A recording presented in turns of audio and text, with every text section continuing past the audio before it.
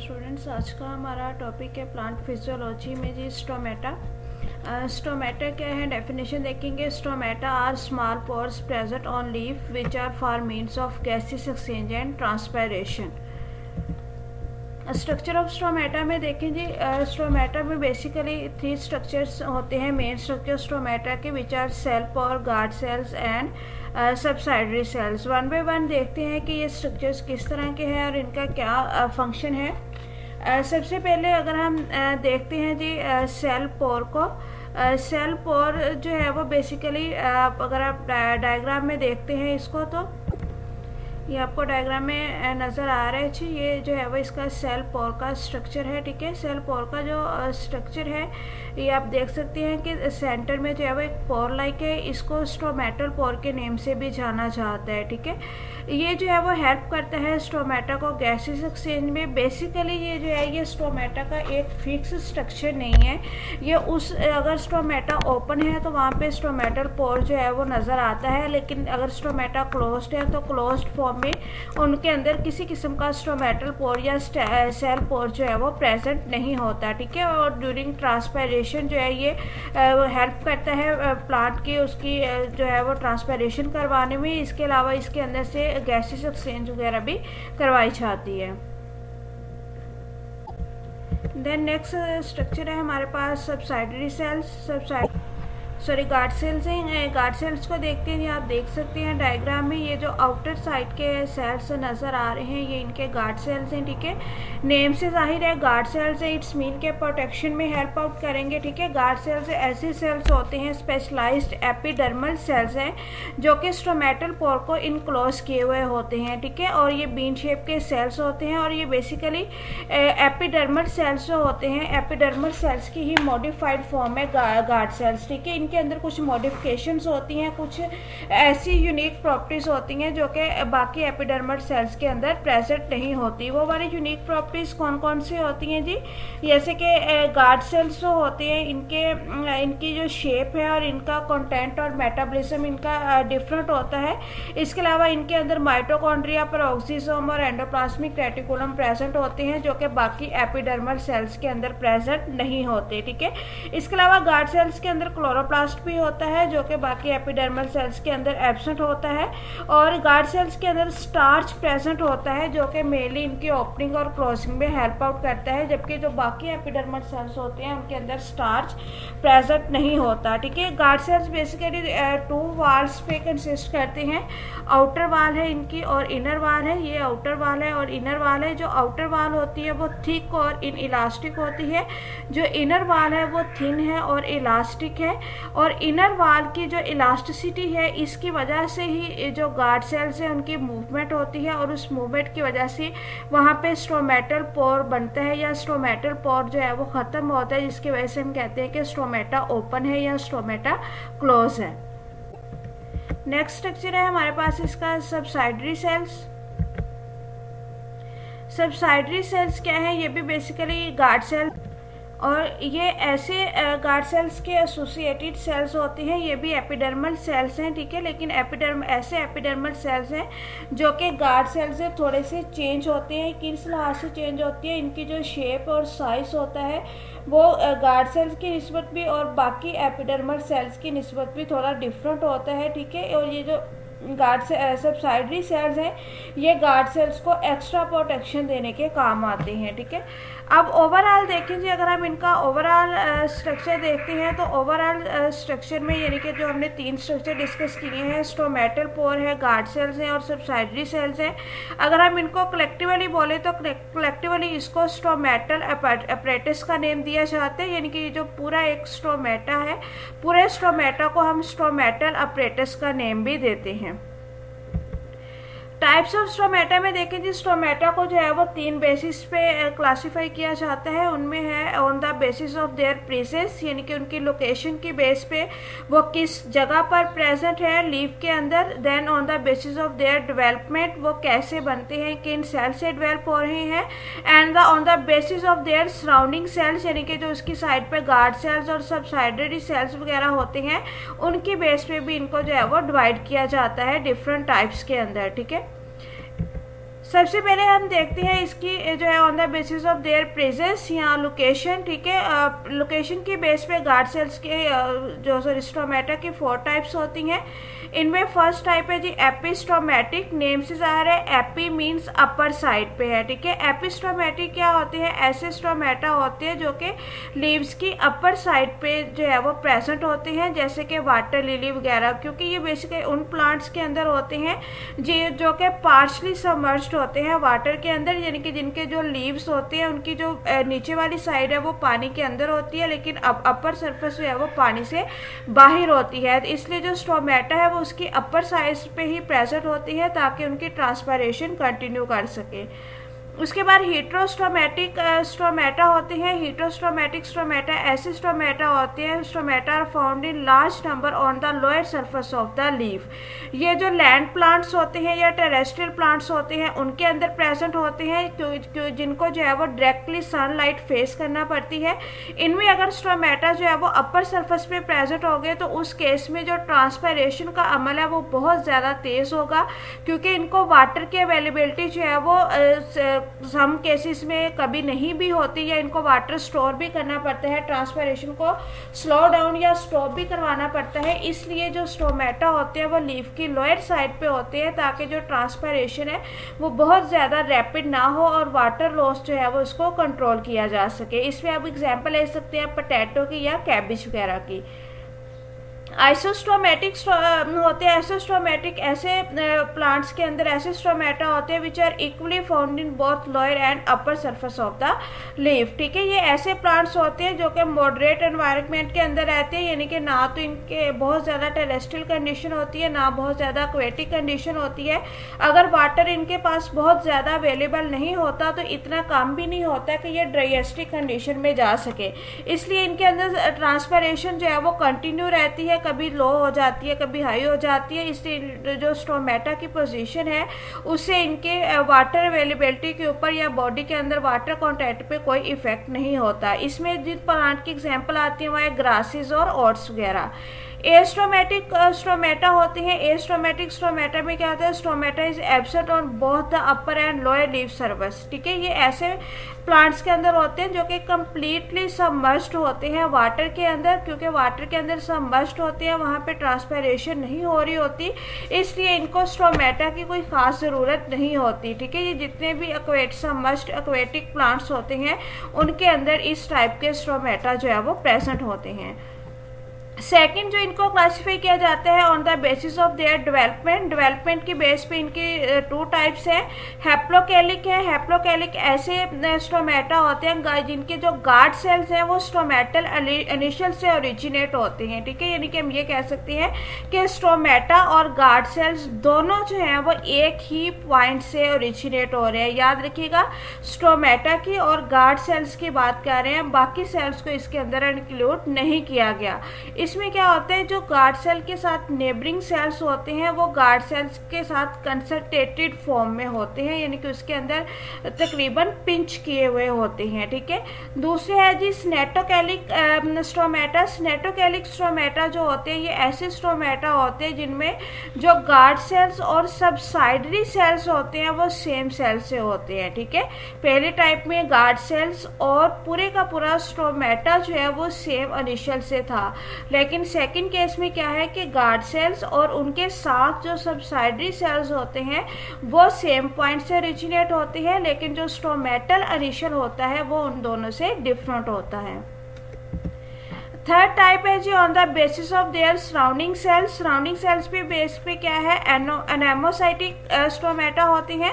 एनामोसाइटिक stomata कौन से होते हैं? Which surrounded with limited number of cells और इनके जो सेल्स होते हैं, उनको डिफ्रिशिएट नहीं किया जा सकता. यानी कि बिल्कुल बाकी एपिडर्मल सेल्स की तरह के होते हैं.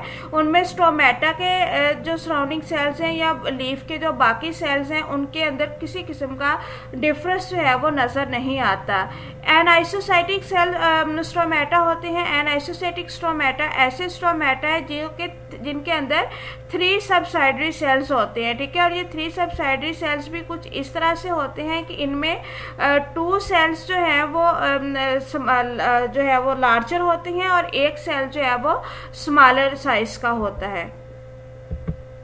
नेक्स्ट है डायासिटिक डायासिटिक जो स्टोमेटा होती है, इनके अंदर पेयर ऑफ़ सब्साइडरी सेल्स होता है और पेयर ऑफ़ सब्साइडरी सेल्स जो है, वो गार्ड सेल्स के साथ बिल्कुल राइट एंगल देन है जी पैरासिटिक स्ट्रोमेटा पैरासिटिक स्ट्रोमेटा ऐसे स्ट्रोमेटा होते हैं जिसमें जो सब्साइडरी सेल्स होते हैं, वो सेम मैनर में अरेंज होते हैं एज देयर गार्ड सेल्स ठीक है? डायग्राम के थ्रू अगर हम देखते हैं, ये देखिए, ये अनेमोसाइटिक सेल्स हैं, इसमें आपको इनके एपिडर्मल सेल्स और जो दूसरे सेल्स हैं, उनके दरमियान किसी किस्म का डिफरेंस जो है, वो नज़र नहीं आ रहा, ठीक है? ये aniso anisocytic cells हैं, जिसमें हम देख सकते हैं कि ये गार्ड सेल्स हैं और गार्ड सेल्स के सर पे one two and three subsidiary cells cells मौजूद हैं, ठीक है? उसके बाद डायसिटिक सेल्स हैं डायसिटिक सेल्स में ये गार्ड सेल्स हैं, ये इनके सब्साइडरी सेल्स हैं और सब्साइडरी सेल्स दोनों जो हैं वो अबव ईच अदर यानी कि एक दूसरे के साथ बिल्कुल राइट एंगल पे प्रेजेंट हैं, ठीक है? पैरासिटिक में देख सकते हैं कि जिस शेप में, जिस मैनर में गार्ड सेल है, उसी शेप में, उसी मैनर में जो है वो उनके सब्साइडरी सेल भी प्रेजेंट हैं। साइज़ ऑफ़ स्ट्रोमेटा की बात करें तो इनका जो साइज़ होता है वो डिफरेंट स्पीशीज़ के अंदर डिफरेंट होता है, ठीक है? नॉर्मल जो साइज़ इनका होता है, वो 37 सेवन बाई थ्री माइक्रोमीटर से लेके 38 एट बाई एट माइक्रो तक जो है वो होता है, ठीक है? नंबर ऑफ़ स्ट्रोमेटा की बात करें तो नंबर ऑफ़ स्ट्रोमेटा जो है वो इनका वेरी करता रहता है। नॉर्मली जो है वो 50 टू 300 स्ट्रोमेटा होते हैं लीव के अंदर पर स्केयर मिलीमीटर के अंदर, ठीक है? और इनका अगर हम टोटल एरिया की बात करें तो लीव के अंदर टोटल एरिया में से only one two two percent area जो होता है लीव का वो स्ट्रोमेटा ने कवर किया हुआ होता है। ओपनिंग एंड क्लोजिंग में देखें जिस टोमेटो की जो ओपनिंग होती है, वो टर्गर प्रेशर के गेन करने से होती है। यानी कि वाटर जब गार्ड सेल्स के अंदर एंटर होगा गार्ड सेल्स के अंदर वाटर एंटर होगा, हमने अभी डिस्कस किया कि इनकी जो वॉल्स हैं, वो आउटर वाल इन इलास्टिक है और इनर वाल जो है, वो इलास्टिक है। जैसे ही इसके अंदर वाटर गार्ड सेल्स के अंदर एंटर होगा, ये स्वेल करेंगे। स्वेल करने की वजह से क्या होगा? सॉरी आउटर वाल जो है, वो इलास्टिक है और इनर वाल जो है, वो इन इलास्टिक है। ठीक है? जैसे ही वाटर वाटर इसके अंदर एंटर होगा। वाटर के एंटर करने से टर्गर प्रेशर क्रिएट होगा। गार सेल स्वेल करेंगे। स्वेल करने से जो आउटर वाल है, वो आउट साइड पे मूव करेगी क्योंकि उसके अंदर इलास्टिसिटी प्रेजेंट है, ठीक है? आउटर साइड के आउट साइड पे मूव करने से फोर्स एग्जर्ट होगी यहाँ पे इनर वाल के ऊपर। वो वाली जो फोर्स है, जो कि इनर वाल के ऊपर एग्जर्ट की जा रही है, उस फोर्स की वजह से जो इनर वाल है, वो भी थोड़ी सी डिस्प्लेस होती है, थोड़ी सी अपनी जगह से मूव करके कर्व्ड शेप में आती है और दरमियान में एक एम्प्टी स्पेस एक पोर बन जाता है स्टोमेटल पोर जिसको कहते हैं। और स्टोमेटल पोर के बनने के बाद ये कहा जाता है कि स्टोमेटा जो है वो ओपन है। इसी तरह क्लोजिंग के लिए इनको जो है वो टारगेट प्रेशर लूज करना पड़ता है। जब टारगेट प्रेशर लूज हो जाएगा, ये जो आउटर वाल है वो अपने ओरिजिनल पोजीशन पे आ जाएगी। आउटर वाल के ओरिजिनल पोजीशन पे आते ही जो फोर्स इसने इनर वाल पे लगाई हुई थी, वो फोर्स भी ख़त्म हो जाएगी और ये गेन कर्व फॉर्म से इस तरह से स्ट्रेट फॉर्म में आ जाएगी, जो दरमियान में एक एम्प्टी स्पेस थी स्टोमेटल पोर था, वो ख़त्म हो जाएगा, जिसकी वजह से ये कहा जाता है कि स्टोमेटा जो है, वो क्लोज हो चुके हैं। अब जो स्टोमेटा की ओपनिंग और क्लोजिंग है, इसको रेगुलेट करने के लिए डिफरेंट मैकेनिज्म होते हैं प्लांट्स के अंदर, जो कि इस बात को इंश्योर करते हैं कि स्टोमेटा ने कब ओपन होना है, कब क्लोज होना है। इन मैकेनिज्म्स को एक्सप्लेन करने के लिए हमारे पास दो हाइपोथेसिस होते हैं starch sugar hypothesis and potassium ion exchange hypothesis इनको देखते हैं जी, सबसे पहले है स्टार्च शुगर हाइपोथेसिस ये एस टे सायरे ने 1926 के अंदर दिया था और according to this hypothesis the opening and closing of stomata is affected by conversion of starch to sugar, ठीक है? यानी कि प्लांट्स के अंदर जो स्टार्च है, वो शुगर के अंदर कन्वर्ट होता है और स्टार्च की जो शुगर के अंदर कन्वर्जन है, वो इस बात को कंट्रोल करती है कि स्टोमेटा ने कब ओपन होना है और कब क्लोज होना है। किस तरह से जो इसको कंट्रोल करती है, इसको थोड़ा सा देखते हैं, ठीक है? प्लांट्स के अंदर बेसिकली एक एंजाइम होता है, जिसको हम स्टार्च फास्फोरलेज इंजाइम कहते हैं। स्टार्च फास्फोरेलेज इंजाइम जो है, ये एक एक्टिवेटेड एंजाइम होता है और ये इस बात को इंश्योर करता है कि स्टार्च जो है वो इसको ग्लूकोज के अंदर या शुगर के अंदर कन्वर्ट किया जाए और ये जो एंजाइम्स है, ये गार्ड सेल्स के अंदर प्रेजेंट होता है, ठीक है? ये रिवर्सिबल इंजाइम है। यानी कि ये स्टार्च को शुगर के अंदर भी कन्वर्ट करता है देन शुगर को अगेन स्टार्च के अंदर भी कन्वर्ट करता है, ठीक है? इसकी जो कन्वर्शन होती है, वो लाइट पे डिपेंड करती है। लाइट की वजह से होती है मोस्टली ड्यूरिंग डे टाइम जो स्टार्च है, वो शुगर के अंदर कन्वर्ट हो रहा होता है। एंड ड्यूरिंग नाइट जब लाइट नहीं होती तो जो शुगर है, वो अगेन स्टार्च के अंदर कन्वर्ट हो रहा होता है। अब इस स्टार्च एंड शुगर हाइपोथेसिस के अकॉर्डिंग स्टोमेटा जो है वो ओपन कब होंगे? स्टोमेटा के ओपन होने का प्रोसीजर क्या होता है कि प्लांट के ऊपर लाइट फॉल करेगी? यानी कि जब प्लांट के ऊपर जैसे ही लाइट फॉल करेगी तो गार्ड सेल्स के अंदर मौजूद कार्बोनिक एसिड ब्रेकडाउन होगा और कार्बोनिक एसिड के ब्रेकडाउन होने से वहाँ पे कार्बन रिलीज़ होगी, ठीक है? कार्बन के रिलीज़ होते ही गार्ड सेल्स की जो पीएच है वो अनक्रीज कर जाएगी। पीएच के इंक्रीज करने से स्टार्च फास्फोरिलेज इंजाइम स्टिमुलेट करेगा एक्टिवेट हो जाएगा और एक्टिवेट होने के बाद वो स्टार्च को ग्लूकोज के अंदर कन्वर्ट करना स्टार्ट कर देगा। स्टार्च को ग्लूकोज के अंदर कन्वर्ट करने से गार्ड सेल्स के अंदर ऑस्मोटिक प्रेशर इंक्रीज हो जाता है क्योंकि स्टार्च जो होता है वो वाटर के अंदर इनसोलेबल है, लेकिन ग्लूकोज जो है वो सोलेबल है, ठीक है? तो ग्लूकोज की सोलेबिलिटी की वजह से वहाँ पे ऑस्मोटिक प्रेशर इंक्रीज हो जाएगा ऑस्मोटिक प्रेशर इंक्रीज होने की वजह से वाटर जो है वो गार्ड सेल्स के अंदर एंटर होगा और वाटर के एंटर होने की वजह से गार्ड सेल जो है वो टर्जिट पोजिशन में, यानी कि तनाव की हालत में आ जाएँगे। जब वो टर्जिट पोजिशन में आएँगे आउटर वाल जो है वो एक्सपैंड करेगी आउटर वाल की एक्सपैंड करने से गार्ड सेल की जो इनर वाल है, उसके ऊपर फोर्स लगेगी। वो स्ट्रेट फॉर्म से थोड़ी कव फॉर्म के अंदर आ जाएगी स्टोमेटल पोर बनेगा और स्टोमेटा जो है वो ओपन हो जाएँगे।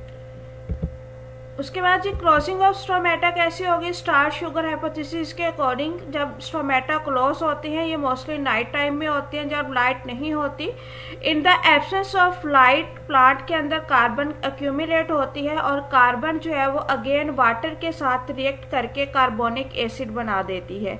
जब कार्बोनिक एसिड दोबारा बन जाएगा तो उसकी पीएच डिक्रीज हो जाएगी। पीएच के डिक्रीज होते ही स्टार्च फास्फोरलेज इंजाइम जो है वो इनएक्टिवेट हो जाएगा। इनएक्टिवेट होने के साथ वो अपना रिवर्स रिएक्शन स्टार्ट कर दे। सॉरी पीएच के रिलीज़ होते ही जो स्टार्च फास्फोरलेज इंजाइम है वो रिवर्सिबल रिएक्शन स्टार्ट कर लेता है।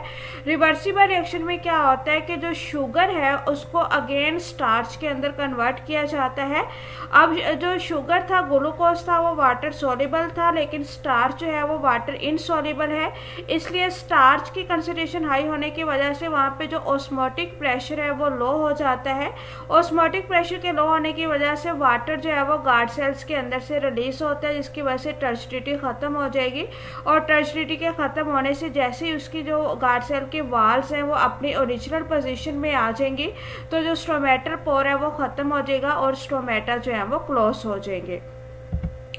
स्टार शुगर हाइपोथेसिस के अगर हम एविडेंसेस देखें कि क्या वाकई ही ये जो है वो प्रेजेंट होता है प्लांट्स के अंदर और ये वर्क करता है, ठीक है? तो इस केस में इसका एक एविडेंस ये है कि अगर जो प्लांट्स हैं, उनको नाइट टाइम में अमोनियम हाइड्रोक्साइड के वेपर्स उनके ऊपर जो है वो डाले जाए, उनका एक्सपोजर किया जाए अमोनियम हाइड्रोक्साइड के वेपर से तो अमोनियम हाइड्रोक्साइड के वेपर से क्या होता है कि गार्ड सेल्स के अंदर जो पीएच होती है वो इंक्रीज हो जाती है, ठीक है? हालाँकि नाइट टाइम में नाइट टाइम में जो स्टोमेटा है, वो क्लोज फॉर्म में होते हैं। क्योंकि हमने उसकी रीज़न पढ़ी कि पीएच के लो होने की वजह से वो क्लोज फॉर्म में हुए हैं, ठीक है? तो यहाँ पे अमोनियम हाइड्रोक्साइड को वेपर्स को उसके ऊपर लगा, जो है वो एक्सपोज करवा के उसके पीएच को इनक्रीज़ किया जाता है और पीएच के इनक्रीज करने से नाइट टाइम में भी जो स्टोमेटा होते हैं वो ओपन हो जाते हैं, ठीक है? जो कि इस बात का एविडेंस है कि वाकई ही जो पीएच का लेवल है या स्टार्च शुगर की जो कन्वर्जन है वो इसको कंट्रोल करती है। देन है सेकेंड एविडेंस इसका है कि अगर प्लांट को एक्सपोज किया जाए ग्लेशियर एस्टिक एसिड से एट द डे टाइम तो उस सूरत में जो स्टोमेटा है वो क्लोज हो जाते हैं। नॉर्मल में डे में पीएच हाई होती है स्टोमेटा ओपन होती हैं। लेकिन ग्लेशियल एस्टिक एसिड के एक्सपोजर की वजह से जो पीएच होती है वो लो हो जाती है और इवन डे टाइम के अंदर भी अगर पीएच लो होती है तो जो स्टोमे गार्ड सेल्स हैं, उनकी टर्स्टिटी लूज हो जाती है और स्टोमेटा जो है वो क्लोज हो जाती हैं, ठीक है? है इसके अलावा यह है कि जो स्टार्च फास्फोरलेस इंजाइम है, वो काफ़ी ज़्यादा एक्टिव है, ठीक है? यानी कि वो इतना हाईली एक्टिव है। एंजाइम की ये एस्टिमेट किया जाता है कि ये एंजाइम जो है वो थाउज़ेंड, एक सेकेंड के अंदर थाउज़ेंड मालिक्यूल जो है वो स्टार्च के, उनको शुगर के अंदर कन्वर्ट कर देता है, ठीक है? तो एक सेकेंड के अंदर अगर स्टार्च के थाउज़ेंड मालिक्यूल्स जो है वो कन्वर्ट हो रहे हैं ग्लूकोज के अंदर तो ये जो कंसनट्रेशन है, ये जो स्पीड है, ये इनफ है किसी भी गार्ड सेल के अंदर ऑस्मोटिक प्रेशर क्रिएट करने के लिए और उसको ओपन करवाने के लिए। लेकिन इसके बावजूद इस हाइपोथेसिस के कुछ ऑब्जेक्शन पॉइंट्स भी हैं, जिस वजह से इसको जो है वो कम्प्लीटली एक्सेप्ट नहीं किया जाता। फ़र्स्ट ऑब्जेक्शन पॉइंट्स ये है कि some plants do not have starch जैसे कि हम, अगर हम अनियन की बात कर लेते हैं तो अनियन के अंदर स्टार्च नहीं होता, लेकिन इसके बावजूद उनके जो स्टोमेटा होते हैं, वो ओपन एंड क्लोज हो जाते हैं, ठीक है? सेकंड है कि यहाँ पे हम बात कर रहे हैं कि जब लाइट हाई लाइट फॉल करती है तो कार्बोनिक एसिड जो है वह डिसोसिएट होता है और जैसे ही लाइट लो होती है तो अगेन कार्बोनिक एसिड जो है वो बनना स्टार्ट कर देता है। अगर हम ओरिजिनल में देखें तो जो बहुत ज़्यादा डिम लाइट है, जैसे कि विंटर सीज़न में होता है, या इवन मून लाइट के अंदर भी कुछ प्लांट्स के अंदर स्टोमेटा जो है वो ओपन होते हैं और क्लोज होते हैं, जो कि इस बात के एविडेंस है कि ये स्टार शुगर के अलावा कोई और मैकेनिज्म है इनको ओपन और क्लोज करने का, ठीक है? उसके बाद थर्ड ये है कि हम बात करें कि जो स्टार्च फास्फोरडेज इंजाइम है, वो स्टार्च को शुगर के अंदर कन्वर्ट करता है तो वहाँ पे ऑस्मोटिक प्रेशर जो है वो क्रिएट होता है गार्ड सेल्स के अंदर। लेकिन प्लांट्स के अंदर मौजूद जो फास्फेट है, वो इट सेल्फ ऑस्मोटिकली एक्टिव है, वो स्टार्च की शुगर के अंदर कन्वर्जन के बगैर भी प्लांट सेल्स के अंदर इनफ ऑस्मोटिक प्रेशर क्रिएट करवा सकता है कि वाटर जो है वो उसके अंदर एंटर हो और स्टोमेटा जो है वो ओपन हो जाए, ठीक है? इन ऑब्जेक्शन पॉइंट्स की वजह से स्टार शुगर हाइपोथेसिस को जो है वो रिलायबल नहीं माना जाता। सेकंड जो हमारे पास हाइपोथेसिस आता है, वो है जी potassium ion exchange hypothesis potassium ion exchange को मेलेट हाइपोथेसिस का नेम भी दिया जाता है। According to this hypothesis malic acid metabolism in guard cell control the opening and closing of stomata कैसे कंट्रोल करता है, इसको देखेंगे। ओपनिंग का प्रोसीजर क्या होता है कि मेलिक एसिड जो है वो गार्ड सेल्स के अंदर प्रोड्यूस होता है। मेलिक एसिड डिसोसिएट करता है into malate ions and hydrogen ठीक है? जो हाइड्रोजन आयंस बनते हैं, वो गार्ड सेल्स से एक्सक्रीट किए जाते हैं। एज अ रिज़ल्ट जैसे ही हाइड्रोजन आयन जो है वो गार्ड सेल से आउटर मूव करते हैं पोटाशियम आयन जो होते हैं वो गार्ड सेल के अंदर एंटर हो जाते हैं। हाइड्रोजन आयन के बाहर निकलने से और पोटाशियम आयन के एंटर होने की वजह से गार्ड सेल्स के अंदर ऑस्मोटिक प्रेशर इंक्रीज कर जाता है। वाटर जो है वो गार्ड सेल के अंदर एंटर होगा, वहाँ पे टर्चडिटी मेंटेन करेगा। टर्चडिटी मेंटेन करने से स्टोमेटल पोर बनेगा और स्टोमेटा जो है वो ओपन हो जाएँगे। क्लोजिंग का अगर हम प्रोसीजर देखें तो क्या होता है कि डार्क में जो हाइड्रोजन है, वो गार्ड सेल्स के अंदर एंटर होना स्टार्ट हो जाता है और जो पोटाशियम आयंस होते हैं, वो गार्ड सेल से बाहर आना शुरू हो जाते हैं। पोटाशियम आयंस बाहर हैं हाइड्रोजन आयंस अंदर हैं, इसकी वजह से क्या होगा कि ऑस्मोटिक प्रेशर डिक्रीज हो जाएगा। वाटर जो है, वो गार्ड सेल से रिलीज़ होगा, जिसकी वजह से टर्जिडिटी लूज होगी और जो स्टोमेटा हैं, वो क्लोज हो जाएँगे। इसके अलावा देखें जी प्लांट्स के अंदर जो स्टोमेटा प्रेजेंट है, उनके फ़ंक्शंस क्या हैं लीव्स के अंदर किस लिए प्रेजेंट है? फ़र्स्ट फ़ंक्शन इनका है कि ये हेल्प करते हैं गैसेस एक्सचेंज में, जो अभी हमने पूरा मैकेनिज्म डिस्कस किया ओपनिंग एंड क्लोजिंग का, ये सारा मैकेनिज्म बेसिकली प्लांट्स जो होते हैं, वो गैसेस एक्सचेंज के लिए करते हैं, ठीक है? इसके अलावा जो स्टोमेटा है, वो हेल्प करते हैं ट्रांसपायरेशन में, जिसकी वजह से क्या होता है कि एक्सेस वाटर जो है, वो लीव्स के अंदर से बाहर निकल जाता है in the form of water vapours इसके अलावा जो स्ट्रोमेटा है वो वेदर कंडीशन के लिहाज से इनकी जो ओपनिंग एंड क्लोजिंग है, वो प्लांट के अंदर मॉइस्चर बैलेंस रखती है।